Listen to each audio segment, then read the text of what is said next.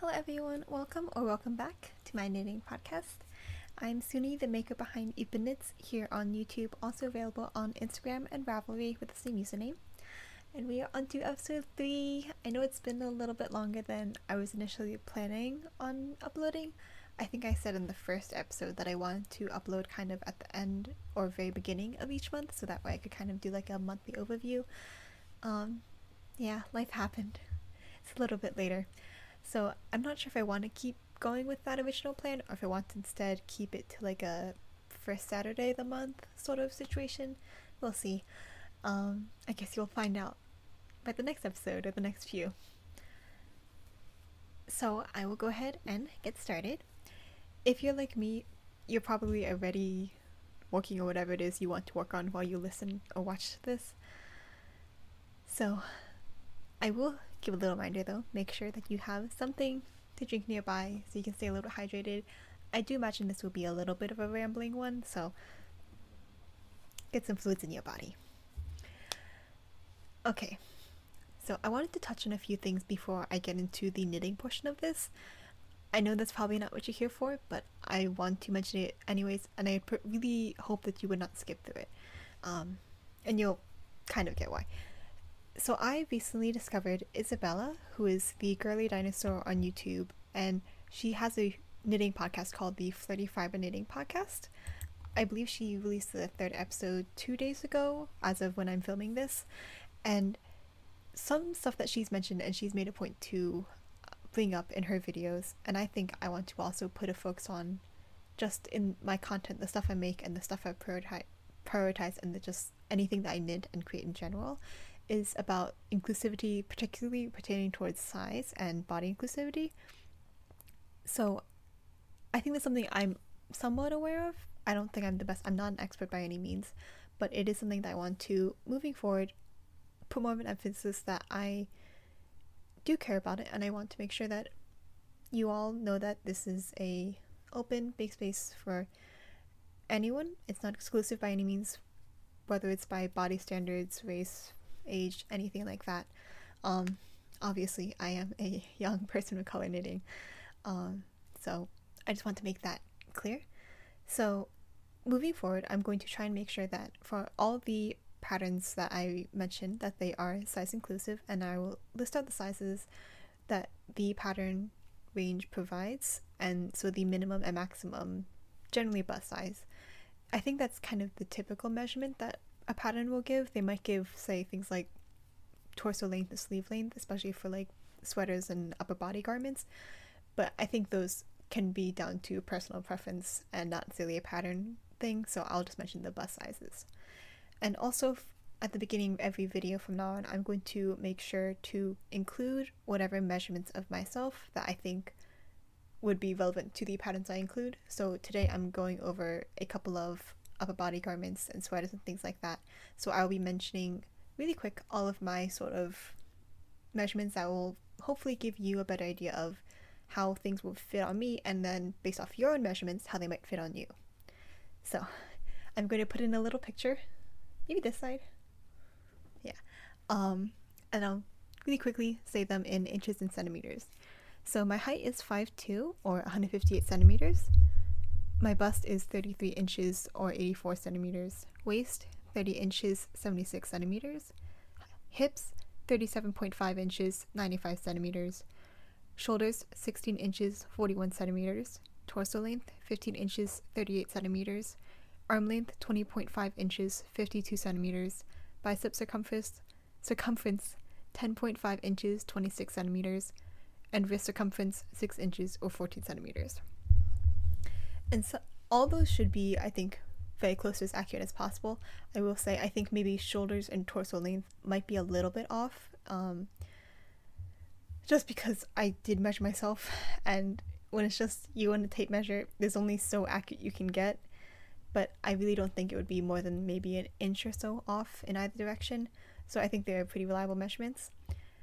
And yeah, I hope that helps. If there's any measurements or any part that is confusing or you would like me to clarify on, feel free to either leave a comment or DM me on Instagram. I'd be happy to help in any way that I can. So, that's all for the housekeeping kind of administrative stuff. And Oh yes, one last thing, really quick.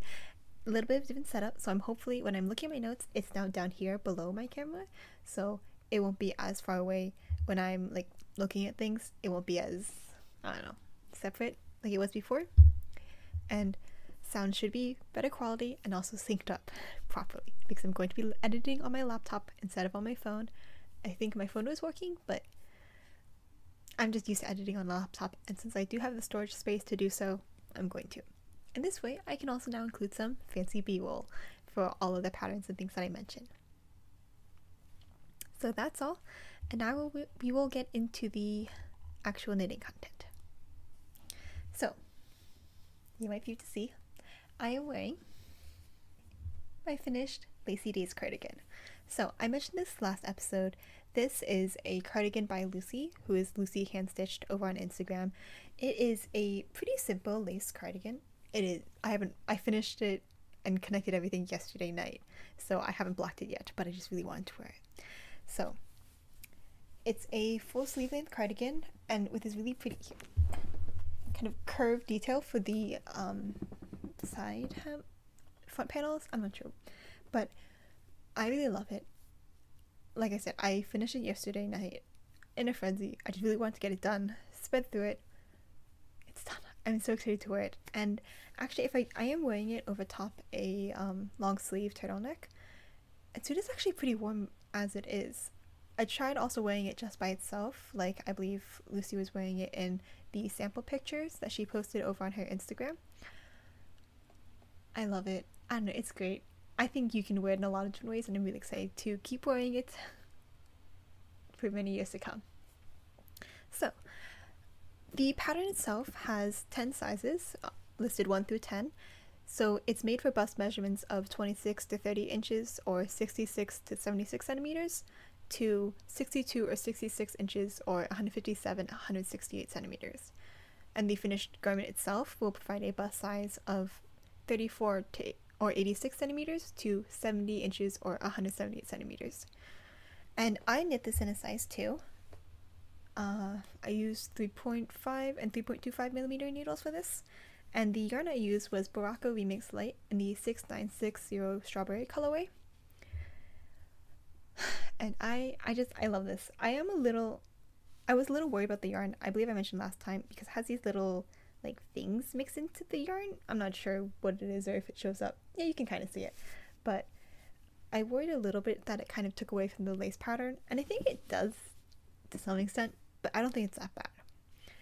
And I just really like how it turned out. I posted on my Instagram also a picture of me wearing it before I'd finished the sleeves, or at least before I'd attached any of the sleeves, and I actually really like how it looked also just kind of like as a vest so I might want to make another one just like that.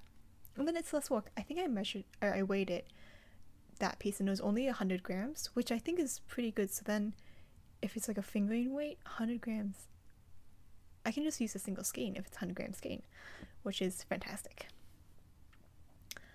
Um, and also one final note for modifications, because this was a test knit, I tried to not do any uh, modifications that I could help. And I know normally I do mention that I will do half twisted ribbing for any ribbing. So normally on like the cuffs and then here I would have done half twisted ribbing, but I decided not to mainly because the yarn that I used wasn't very elastic and I wanted to make sure that the sleeves could stretch as much as they needed to. So I decided to do just regular standard ribbing this time. And then my next recently finished object is my other test that I mentioned last episode, the Ramaj pullover. And this is a test design by a designer whose name I'm not how to pronounce again. I'm sorry, I just don't know. Um, and the size range for this, there are 12 sizes, 1 through 12, and it provides a finished bust measurement of 83.5 centimeters to 166 point or just 166 centimeters. And she does recommend 13 in or 13 centimeters minimum of positive ease. So i also knit this one in a size 2 i used soffio cashmere in the 6 and 19 colorways. So 6 for the main body and then 19 for the contrast color. I really love the yoke and especially this sort of chevron detail that goes across. It's done with holding the contrast color double, which I'd never done before, and you kind of like weave it in and out throughout as you're knitting the yoke. It's my first time doing it. I really like how it turned out. And it's, it's really pretty. I also did mention last time that I had to buy extra of the main color yarn online, so it ended up being a different dye lot, which it is visible. Um, you can see here the line across where I added the new ball of yarn, and then also for the sleeve, even just technically white right where I started the sleeve and also next to the body. It's not too bad, but it is definitely visible. Um, but I do love the yarn. It's super squishy. I generally don't work with chunky yarn, at least not for garments. I just don't like kind of how it tends to fit on me, depending on usually what the sweater is, but or any sort of garment. If it's made chunky yarn, I don't like how it fits. I feel like it um, gives a bit of a Michelin man look sometimes, so I try to avoid it. But this I didn't mind, and it wasn't, I think, super chunky that it looked super thick. It was just like squishy comfortable. And it's just so soft, which I really love. But I will say that for whatever reason, when I knit this, and it was just me, I'm pretty sure the other testers were fine and theirs turned out the way it was supposed to. I got gauge knitting in the round, which is how the designer said that they did gauge as well. And I'm pretty sure it was like spot on a size 2, or at least very close to it. And for some reason, and you might have seen on my Instagram, or you might have just been able to tell when I held it up, this ended up pretty small. For a garment that's supposed to have at least 13 centimeters of positive ease, this is very fitted on me. Um, so yeah, I'm really not sure why that happened if my gauge was accurate and I was picking the right size. Maybe I didn't pick the right size, I'm not sure. But I, I still like it. It's still super comfortable to wear, and I do love the design, but I'm not sure how I like it wearing it. I might frog it and maybe one day try and redo this or just use the yarn in, for a different project, but I love the pattern, I love the yarn. I just I'm not a fan of how it turned out when I made it. But it's okay because it is still super squishy, super comfortable, super warm. So, yeah. So you can buy the pattern for that through Ravelry or Payhip. Pay I'll put all the links for everything down below, but it is 9 euros or $9.24 USD. And the pattern released last Wednesday, so exactly a week before today, as of when I am filming this. Um, it's a great pattern. I would definitely recommend it. And the designer also has some other patterns available if you want, if you like the style aesthetic and you want to check out some more of that. And that is all for finished objects. Now on to works in progress.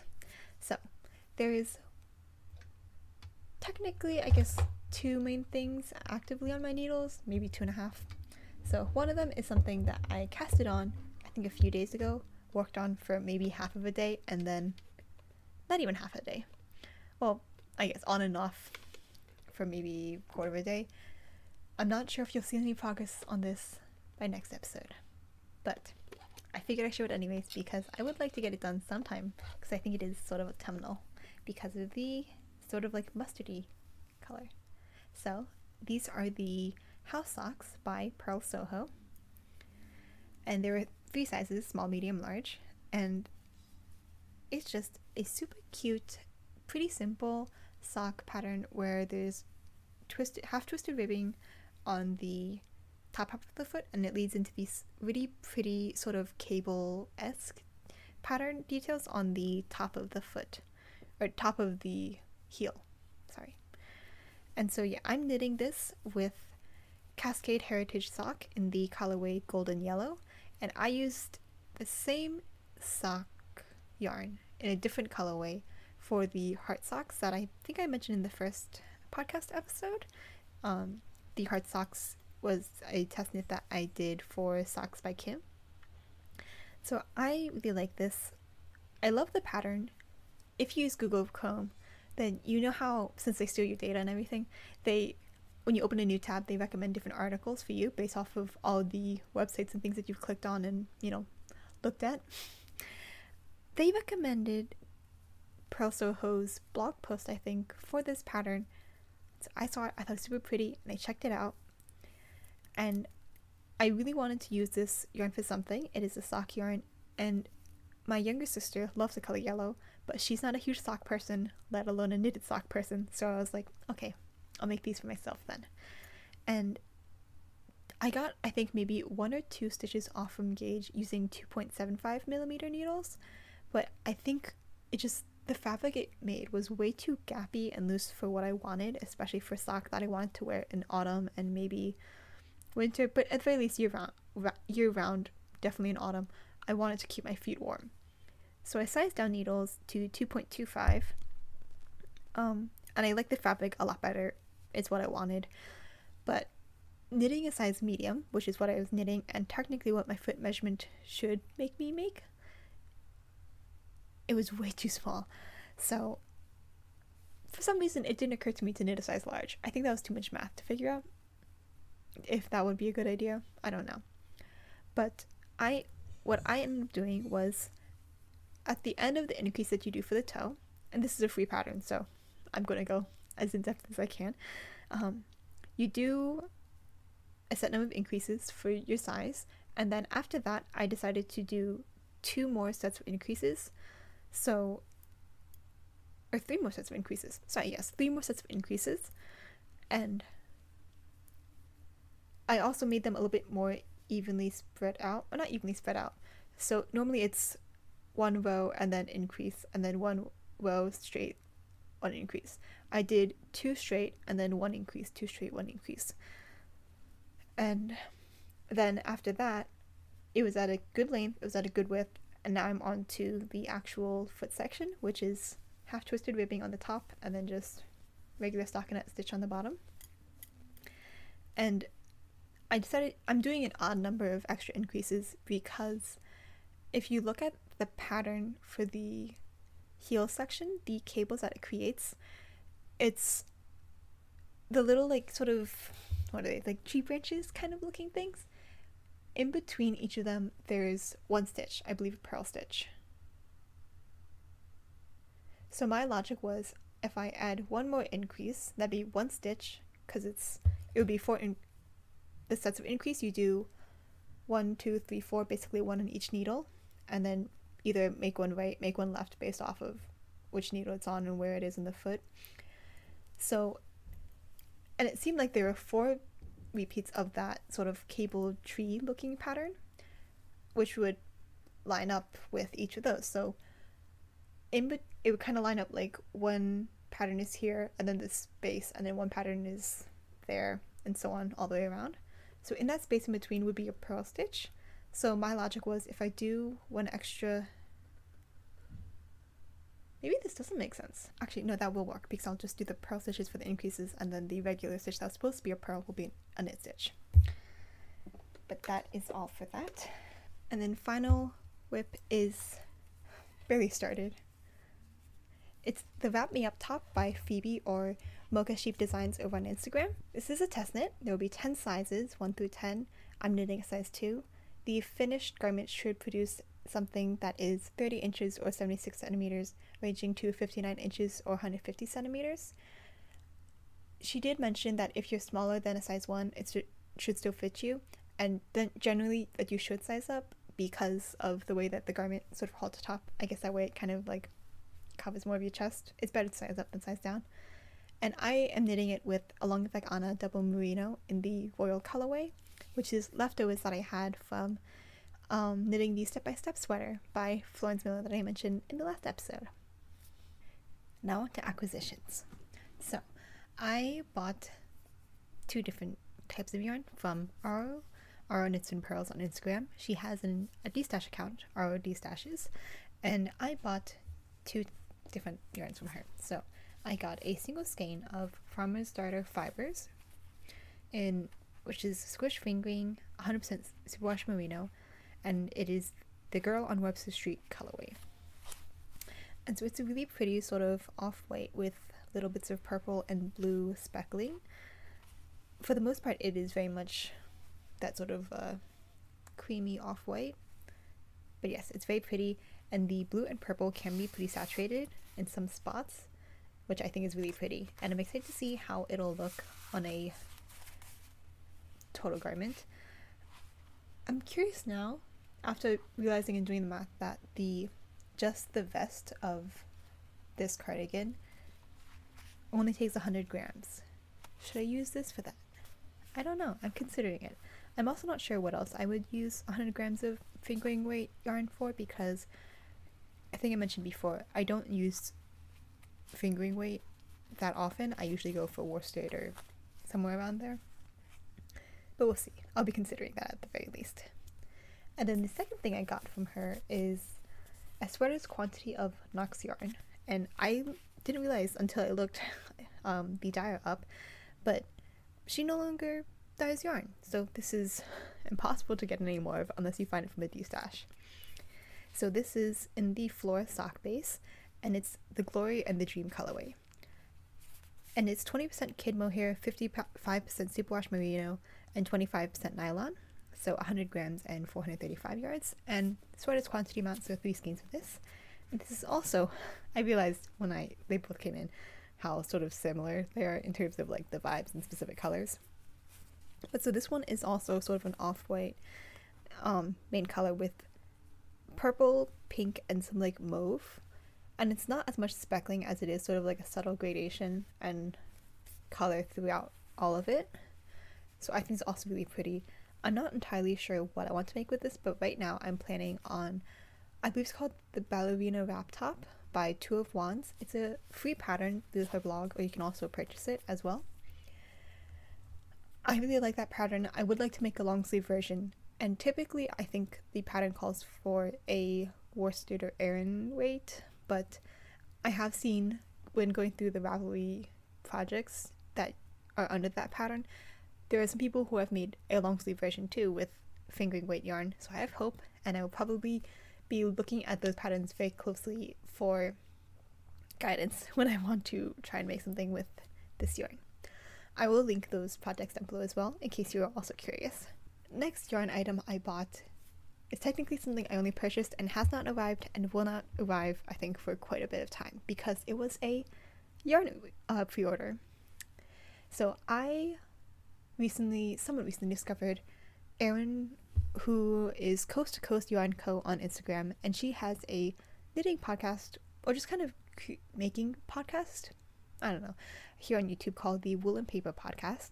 It's really great. I highly recommend, especially if you are into um, books, reading. She talks about books and stuff that she's been reading recently, alongside of what sort of project she's been making, the yarn she's been dyeing, all of that.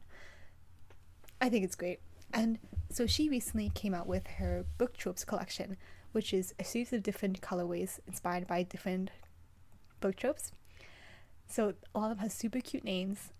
Um, and they're all just beautiful colors. But two of them especially, I like fell in love with at first sight, and another one, I just couldn't resist also adding on to my cart. So I bought three skates total, one of each different colorway. Two of the first two will be natural DK non superwash, and then the last one I got a natural in the natural worsted non superwash base. So the natural DKs I got in Fall from Grace and Second Chance Romance, and then the natural worsted I got in the enemies to lovers colorway. So the first two, well, the ones I fell in love with at first sight, I just love the contrast and the colors that they use and how it's, it's so beautiful. And then enemies to lovers is just such a rich color. It looks like, and I don't really have much of like a purple sort of in my in my stash or that I've worked with really ever. If I have worked with purple, it's usually a lot lighter, like kind of a lilac or lavender. Definitely not like this. So I'm really excited to work with it. And the, the name is just, I couldn't pass it up. It's right up my alley. So I'm very excited for that. The pre order was actually extended longer than she expected, which is good because otherwise I wouldn't have been able to buy it, I don't think. I told myself I would only buy it after or I'd only consider buying it after um, basically I had a stressful phone call uh, for work stuff, and that got way later than expected. But thankfully, her pre-order was still open. So once the call was over and I was able to like calm down for a few minutes, I bought the yarn. So it was a little treat, a little treat. And then final thing for acquisitions is technically not overtly yarn or craft related, but I made it so. Um, my SKZOO order came in, which I it was a pre-order, and I bought it months ago, maybe May, June, I'm not sure, but it came in a couple weeks ago, maybe a week ago. Time is who knows what it is. So I bought two desk trash bins. Yes, and then one SKZOO, an actual doll. So let me go grab the doll real quick. He's on my bed. So this is the SKZOO doll. So what I was thinking and how this is somehow yarn related is I want to make him little outfits. I want to make him things to wear. I think head hat stuff might be a little tricky because of how massive his head is and his ears, but I think it would be really cute. And I would like to make him little shirts and sweaters and stuff like that. Maybe like overalls too if I could manage it. I have seen some patterns on Ravelry, so I'm going to be looking more into that. And his proportions are very strange, um, with such a massive head and small body and pretty flimsy limbs. So I'm not sure how that'll go, but I'm definitely going to be making something. And my sister actually suggested the idea of making matching sweaters with him, which I'm obsessed with, and I can't get it out of my head now. Because also, I realized it would be a good way to use up like scrap yarn from a sweater project, especially. I think I could make him something to go with me, so twinning. Um, but at the same time, I'm mentioning this now, but I don't know if any of you are actually interested or really want to see like the stuff I make for him. I know it's very different from like typical knitting content. While it is still knitting, the vibes are very different. If you want to see the patterns I make for him and what I end up choosing and all that, let me know and I'll include it whenever I make stuff for him. But if not, I'll probably just keep it posted on Instagram and if I use a Ravelry pattern, then on Ravelry as well. You know, we'll keep it. Okay, and the second part, the two dusk trash bins. So, I got in two different versions, or two different character versions. So I have Dwaekki, Leebit. So, you may able to tell with Leebit, and you might have seen earlier in the video when I was talking about the house socks by Purl Soho. I've been using them kind of as a yarn bowl and sometimes project bag because I don't have any project bags and I don't think they're really for me, but at the same time, I'm kind of seeing the appeal now that I'm using these sort of as a project bag. So at the very least, what I like to do is I put the skein of a working yarn that I'm using in here, and that way I can keep pulling on it and it acts like a yarn bowl, and it'll keep the whole skein from rolling around and falling to my floor, falling off my desk, stuff like that, which I think is very nice. And another thing that's great is that when there's sort of a very small amount left on the yarn ball, and normally when you pull on it, it kind of like it can jump around, and it's just it's a hassle. If I close it just a little bit, I can still pull the yarn out, but it'll stop the ball from jumping out of the little head, mouth. I don't know. So I think it's great. And then for small projects like these socks, when I'm not working on them, I can just kind of put it in there. And if I really wanted to, I could like actually make so that these needles can go all the way in, but since going to be keeping it open, it's fine. But yes, I think it's great. Um, and yeah, it's really handy. Not, again, a knitting product, but you use what you have. Anyways, so that's all for acquisitions. And now, before I move on any further, I would like to ask any family members that are watching to please either close out of the video or skip to the outro, which will be timestamped down below. This is spoilers. I don't want you to see any of this. It's supposed to be a surprise. Do not watch. I will give you a few seconds to do that. And everyone else, please wait. Okay,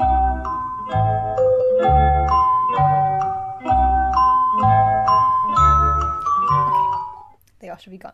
I have a lot of birthday and Christmas presents that I need to start working on. The first one that is closest is my mom's birthday. So I had everyone in my family, well, I'm trying to get my dad to do it too. He's he's saying, "Oh, I'm fine with whatever." No, he needs to pick something. So, I had made a Google form that basically went through a bunch of the different criteria that I wanted them to give their opinions on what they wanted for a handmade gift. So there are things like color or color palette. Um, do they care what kind of like material it is or like how soft it is? What actual item do they want? Do they want like more like a vest? Do they want a scarf? Do they prefer socks? Stuff like that. Um, just a pretty extensive Google form for that. And based off that, but also mainly based off just like what my mom herself has told me, and after she's like felt my yarns and felt some of the stuff I've made, what she wants, I will be making her a sort of short sleeve, high collar mohair sweater.